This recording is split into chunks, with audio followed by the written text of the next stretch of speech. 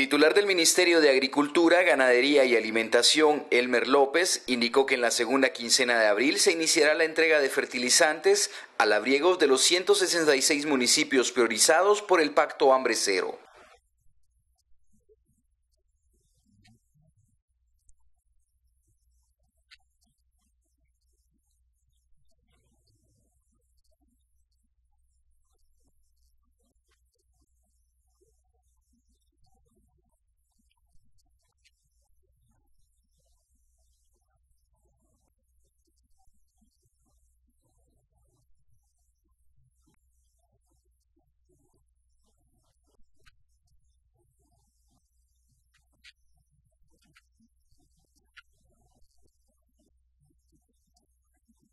El funcionario informó que para el efecto se llevará a cabo una inversión de 404 millones de quetzales, con lo que se beneficiará a 1.74 millones de agricultores.